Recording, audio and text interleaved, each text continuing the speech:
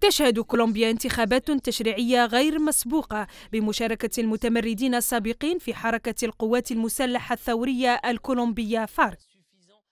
انتخابات يراها البعض حاسمة لمستقبل البلد بعد اتفاق السلام الذي وقعه الرئيس سانتوس مع حركة فارك في نوفمبر 2016 على أن هذه الأخيرة تشغل عشرة مقاعد في البرلمان المقبل الذي يتألف من 280 مقعدا. يفترض أن يجرى الاقتراع بدون عنف أو معارك حيث قال الرئيس الكولومبي خوان مانويل سانتوس في هذا الإطار أنه أول يوم انتخابي منذ نصف قرن سنصوت فيه بسلام بدون القوات المسلحة الثورية الكولومبية كمجموعة مسلحة بل كحزب سياسي.